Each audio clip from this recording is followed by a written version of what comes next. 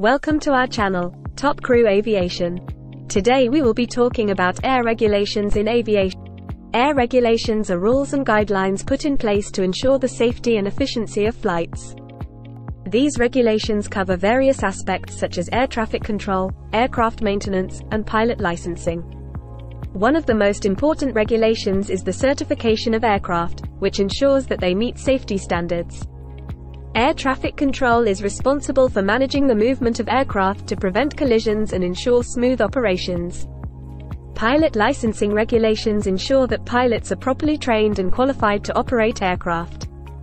Another important aspect is aircraft maintenance, which is regulated to ensure that planes are safe to fly. Air regulations also cover things like airspace utilization, noise pollution, and emissions control to protect the environment. The International Civil Aviation Organization, ICAO, sets global standards for air regulations.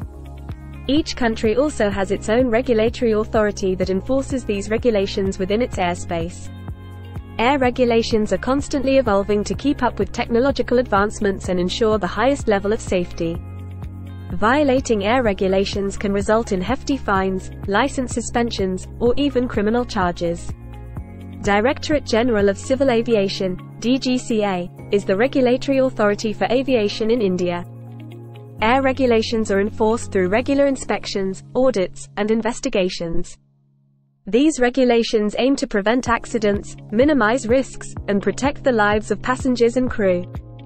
Air regulations also include protocols for dealing with emergencies and ensuring the safe evacuation of the aircraft. Maintenance records and logs are also closely monitored to ensure compliance with regulations. These regulations also include restrictions on hazardous materials and dangerous goods that can be transported on aircraft. Aviation authorities often collaborate with airlines and industry stakeholders to develop and improve air regulations. Air regulations also cover pilot rest and duty time limits to prevent fatigue-related accidents. Air navigation regulations dictate how aircraft navigate through the airspace and interact with air traffic control. Air regulations also include rules for airport operations, including security protocols and baggage handling. Air regulations also address the use of electronic devices during different phases of flight.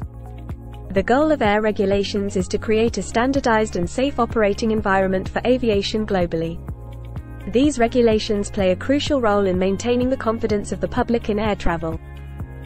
By adhering to air regulations, the aviation industry can continue to grow and thrive while prioritizing safety.